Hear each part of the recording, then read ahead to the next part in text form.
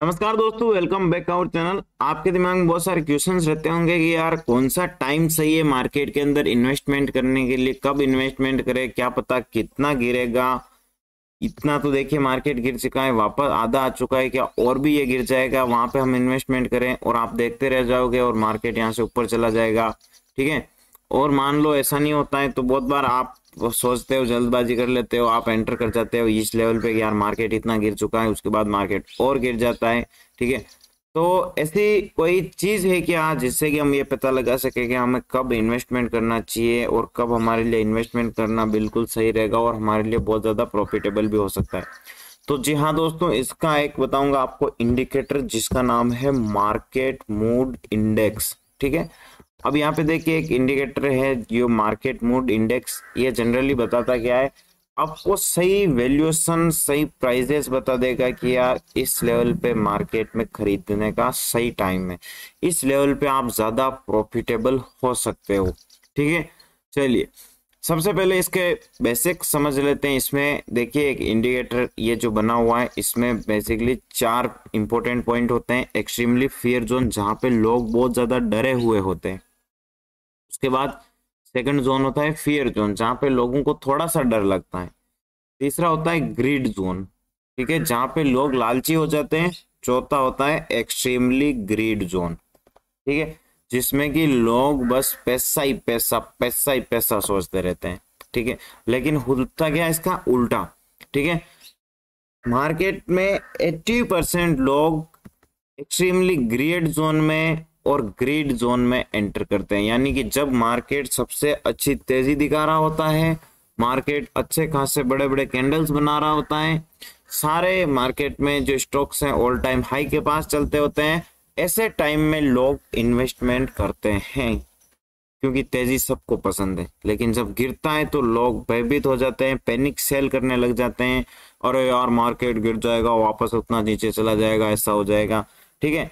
तो क्योंकि उनके जो साइकोलॉजिकल इमोशंस होते हैं, उनसे वो कंट्रोल नहीं कर पाते हैं और ये चीज़ भी एक बहुत सारे लोग शॉर्ट टर्म के लिए खरीदते हैं तो उनको भी कोई स्टॉक है और अचानक उन्होंने जब यहाँ पे एंट्री की है, ठीक है, जैसे ही एंटर हुए और वो स्टॉक गिरना लगा तो फिर वो सारे निकलने लग जाएँगे, जिस कारण मार्केट में पैनिक सेलिंग आ जाती है और लोगों को डर लगने लग जाता है। इस चीज़ का आप फ़ायदा उठा सकते हो। अभी जो टाइम है मार्केट में एक्सट्रीमली फियर जोन है। यानी कि लोग डरे हुए हैं कि अरे यार मार्केट ऊपर जाएगा या यहीं रहेगा या इससे और नीचे गिर जाएगा। न्यूज़ पॉजिटिव नहीं है सेंटिमेंट पॉजिटिव है। यही टाइम होता है दोस्तों आपको सही स्टॉक्स को पकड़ के उनमें इन्वेस्ट करने का। ठीक है? अगर आप ऐसा करते हैं तो आप अच्छा पैसा ही बनाएँगे, बल्कि यहाँ से चांस होता है मार्केट ऊपर जाए, गिरने के थोड़े कम चांस रहते हैं। लेकिन अगर आप खुद ही सोचो कोई दस रुपए की चीज़ सौ रुपए में चल रही है ठीक है? तो वहाँ से गिरेगा क्योंकि लोग तो लालची होके बैठे हैं। लेकिन अगर ये चीज़ वापस पचास साठ रुपए के आसपास आती है तो सही टाइम होता है खरीदने का। ठीक है? तो हमेशा सही प्राइस पे जब शेयर्स पिट चुके हैं आ चुके हैं लेकिन हमें इंडिकेशन भी मिलना चाहिए कि यहाँ से ये रिवर्स हो चुक सकते हैं। ठीक है? ऐसा भी नहीं है कि हाँ एक्सट्रीम फेयर जोन है किसी भी शेयर को जाके उठा लेते हैं प्रॉफिट दे देगा ऐसा नहीं होता है दोस्तों। हमें पता तो चल गया मार्केट में इन्वेस्ट करने का सही टाइम है, लेकिन हमें यह भी पता करना होगा कि कौन से स्टॉक में इन्वेस्ट करने का सही टाइम है। ऐसे स्टॉक्स आपको पता करने हैं, जिन स्टॉक्स में रिवर्सल देखने को मिल रहा है अच्छा खासा वहाँ पे मार्केट गिर भी चुका है और रिवर्सल देखने को मिल रहा है तो इसी के लिए मैं आपको कुछ स्टॉक भी सजेस्ट कर रहा हूँ, जिसमें कि आप जाके चेक कर सकते हैं। हम साथ में चार्ट रीड करेंगे दोस्तों। तो वीडियो को आपको इतना रिक्वेस्ट है कि यार लाइक कर दीजिए, क्योंकि आप लाइक बिल्कुल नहीं करते हो। मैं आपके लिए ज़बरदस्त कंटेंट भी बना रहा हूँ। लाइक कर दीजिएगा। इंफॉर्मेशन आपको अच्छी लगती है कमेंट भी कर दीजिए और सब्सक्राइब तो आपको करना ही है है ना? तो अब हम क्या करते हैं? हमें ये पता चल गया भैया इन्वेस्टमेंट करने का सही टाइम अब इन्वेस्टमेंट कहाँ करें? इसके लिए तो बहुत ज़्यादा एनालिसिस की ज़रूरत होगी। तो सबसे पहले हम यहाँ पे चलेंगे। और पता करेंगे कि यार कहाँ पे रिवर्सल देखने को मिल रहा है। ठीक है तो मैं आपको पूरी प्रोसेस समझाऊँगा। आपका टाइम ज़्यादा वेस्ट नहीं हो, इसीलिए मैंने यहाँ पे एक सेक्टर देखा है जो कि आईटी सेक्टर है। तो हम आईटी सेक्टर की चार्ट एनालिसिस करेंगे। इससे हमें यह पता चल जाएगा कि इस कंपनी के शेयर्स में क्या हो रहा है। फिर हम आईटी सेक्टर के शेयर्स में से और भी ज़्यादा क्लियर चीज़ देखेंगे जिन, जैसे कि इसके अंदर कुछ शेयर्स हैं। ठीक है कुछ कंपनीज़ है, ठीक है? आईटी सेक्टर के अंदर क्या है? जितनी भी आईटी कंपनी है, वो आती है। तो उन आईटी कंपनी में और भी क्या अच्छा पैटर्न बन रहा है, उसको हम पकड़ेंगे, ठीक है? अब देखिए मैंने आईटी सेक्टर का क्यों उठाया, उसका रीजन आपको यहाँ पे क्लियर पता चल जाएगा कि देखिए मार्केट कुछ दिनों से दिनों से क्या यहाँ पे देखिए कोरोना से पहले मार्केट ने इतना ज़बरदस्त रिटर्न दिया। उसके बाद देखिए inverse head and head and shoulder pattern बनाया और गिर गया। अच्छी खासी गिरावट हुई दोस्तों। बहुत ही शानदार तरीके से ये गिरा, ठीक है? और जो शेयर देखिए विप्रो का छह सौ रुपए का था, वो तीन सौ पचास या तीन सौ रुपए तक आ चुका था। मतलब फिफ्टी परसेंट शेयर गिर चुके थे। विप्रो का छह सौ नहीं, सात सौ के आसपास था, ठीक है? अब इतनी गिरावट हो चुकी है क्या आपको लगता है ये और गिरेंगे। एक बात बताऊँ, कोरोना से पहले जो फ्लक्चुएशन आए थे, वो व्यवस्थित हुए, कुछ लोगों ने प्रॉफिट बुकिंग किए।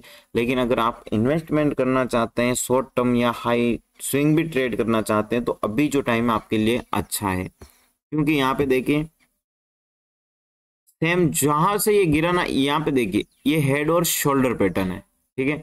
इस पैटर्न को ब्रेक डाउन किया इसने, और ये गिरा, इतना गिरा। कंडीशन देखिए अगेन ये inverse head on shoulder pattern बना है ये होता है एक बुलिश पैटर्न। तो ये पैटर्न बना, आपको पता चला है गिरा है। तो अब वापस ये बना है इसका मतलब क्या है? अब ये वापस तेज़ी करेगा, ठीक है?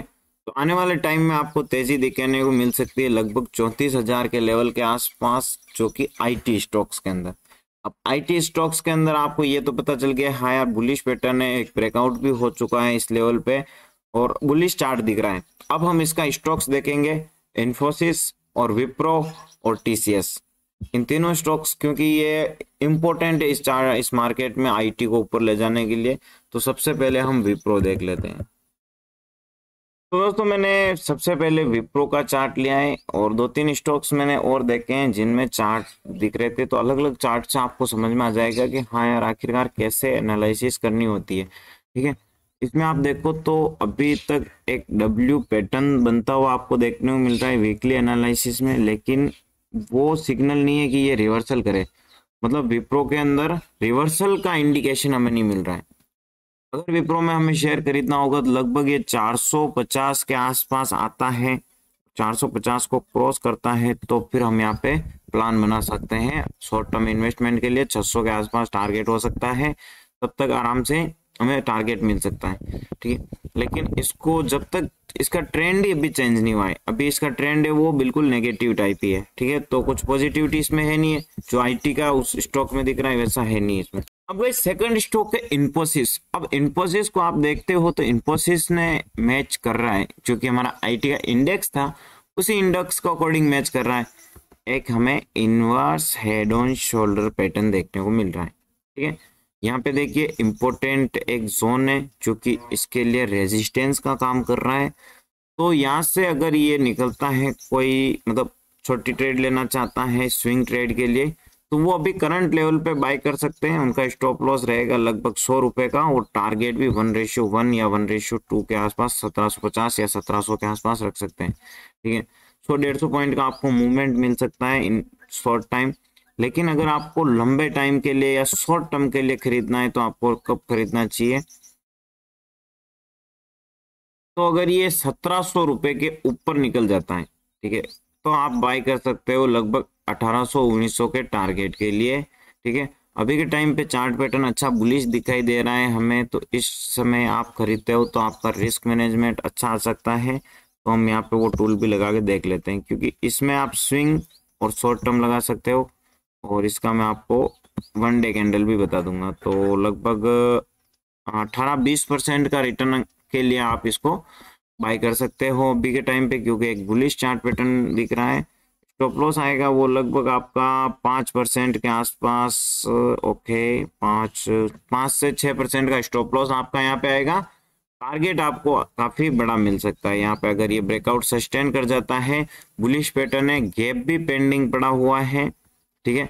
तो छह परसेंट के आसपास आपका टारगेट स्टॉप लॉस है और बीस परसेंट का आपको यहाँ पे टारगेट मिलने की संभावना है क्योंकि एक बुलिश पैटर्न के साथ गैप डाउन यहाँ थे तो इस गैप को फिल कर सकता है और आईटी का जो इंडेक्स है उसको भी ये सपोर्ट कर रहा है ठीक है? तो दोनों सपोर्ट कर रहे हैं। तीसरा है दोस्तों टेक महिंद्रा टेक महिंद्रा में भी कुछ मोमेंटम है नहीं है ठीक है? क्योंकि यहाँ से देखिए हर बार गिरता है, ये रिजेक्शन होता है तो इस लेवल पे ये ट्रेड कर रहा है। इसका मतलब क्या है कि अगर ये नीचे की ब्रेक कर देता है तो 800 तक भी जा सकता है और फिर मानो तो कुछ, यहाँ पे कोई रिवर्सल का इंडिकेशन हमें नहीं मिला है।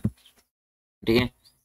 यहाँ पे एक और स्टॉक है एच सी टेक्नोलॉजी तो HCL टेक्नोलॉजी के अंदर भी एक बुलिश पैटर्न फॉर्म हो रहा है पर इसको वैलिड होना में थोड़ा टाइम लग सकता है। ठीक है?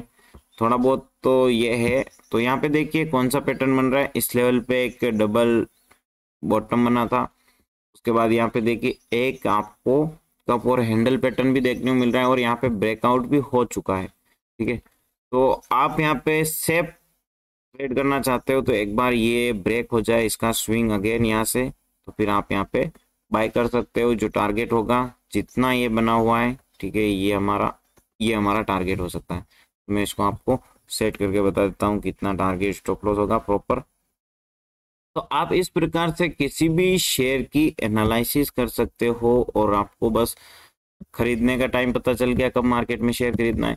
उसके बाद आपको जिस मतलब सारे स्टॉक्स नहीं देखने हो तो आपको वो सेक्टर देखना है। सारे स्टॉक की जगह आप सेक्टर की एनालिसिस तो कर सकते हो। मतलब दस बारह हमारे सेक्टर है, जैसे आईटी है एफएमसीजी है उन सेक्टर्स के आप एनालिसिस कर लीजिए जिस सेक्टर में चार्ट पॉजिटिव दिख रहा है उस सेक्टर के स्टॉक्स को देखिए। अगर उन स्टॉक्स को आप देखते हो तो आपका ऑटोमेटिकली व्यू क्लियर हो जाएगा और उन्हीं में से आपको बाई सेल करने के लिए मिल जाएँगे। ठीक है? चलिए हम यहाँ पे आ, इस लेवल के आसपास हमारी बाइंग आएगी। इसको क्रॉस करेगा तो बावन पॉइंट के आसपास हमारा यहाँ पे स्टॉप लॉस है सासठ पॉइंट फाइव परसेंट के आसपास इसमें भी स्टॉप लॉस रहेगा। ठीक है, लेकिन इसमें थोड़ा टारगेट का इश्यू हो सकता है। 16 से 17 परसेंट का टारगेट तो मिलने की संभावना है, पर थोड़ा सा इश्यू हो सकता है क्योंकि 1200 के आसपास एक रेजिस्टेंस है। ठीक है मैं भी इसमें हमें थोड़ा बहुत एडजस्टमेंट करना पड़े या कम टारगेट लेना पड़े तो आप 1200 तक जो स्विंग ट्रेड लेना चाहते हैं, वो आराम से यहाँ पे बाई कर सकते हैं। और छोटा सा ट्रेड यहाँ पे स्विंग ट्रेडर्स बाई कर सकते हैं। शॉर्ट टर्म के लिए आप काफ़ी अच्छी है वैसे, ठीक है। आपको टारगेट देने में टाइम लग सकता है क्योंकि ये एक रेजिस्टेंस है तो एक बार ये जाएगा, फिर थोड़ा वापस आएगा, फिर वापस जाएगा, फिर ब्रेक करेगा तो ऐसा कुछ हो सकता है, ठीक है।